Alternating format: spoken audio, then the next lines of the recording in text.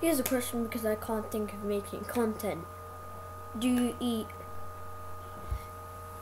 Do you do like this? Put milk then cereal, or cereal then milk? Let me know in the comments. Also, by the way, please, I have another challenge for you. Make sure you like every single video, so that way it can go.